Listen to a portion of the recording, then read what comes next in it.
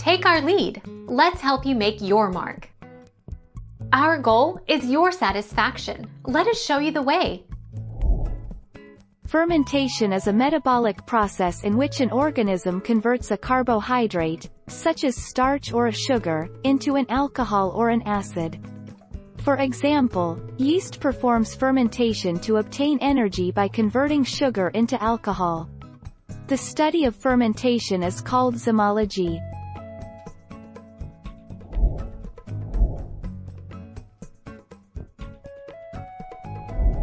Take our lead. Let's help you make your mark.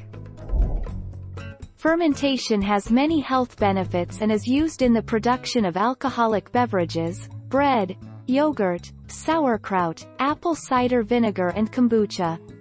It is also used in industry to generate ethanol as a source of biofuel.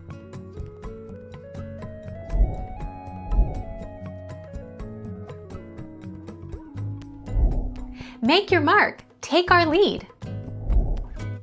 Nutritional highlights. Fermented foods are rich in probiotic bacteria so by consuming fermented foods you are adding beneficial bacteria and enzymes to your overall intestinal flora, increasing the health of your gut microbiome and digestive system and enhancing the immune system.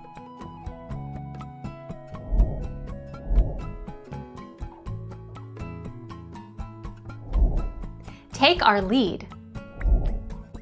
Alcoholic fermentation converts 1 mole of glucose into 2 moles of ethanol and 2 moles of carbon dioxide, producing 2 moles of ATP in the process. The overall chemical formula for alcoholic fermentation is C6H1206 right pointing arrow 2C2H50H plus 2CO.